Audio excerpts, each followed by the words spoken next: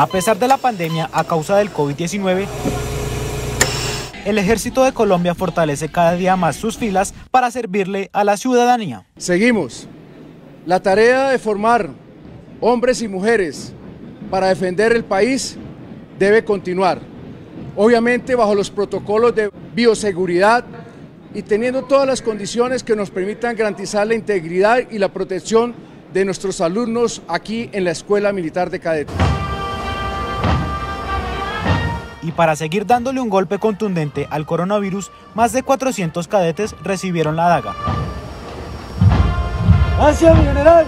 Este símbolo que de ahora en adelante identifica a estos héroes como militares para defender su nación. La verdad es una responsabilidad muy grande porque en el momento en el que adquirimos nuestra daga, pues la daga simboliza responsabilidad, es un juramento que tenemos para defender la lealtad a la bandera. Lealtad para empoderarlos y enseñarles la importancia del honor militar. Proceso de adaptación donde hemos aprendido diferentes instrucciones, nos hemos llenado de conocimientos de cambiar de la vida civil a lo militar.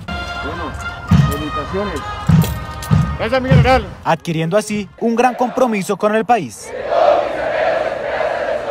Para prepararlos como futuros oficiales y para ejercer el cargo de futuros subtenientes después de la formación que tengan en la escuela militar. Y futuros generales al servicio de la patria. Escuela Militar, atención. Y es desde aquí, la Escuela Militar de Cadetes General José María Córdoba, en donde estos héroes de la patria saldrán al servicio de un país. Desde Bogotá informó Julián Peña.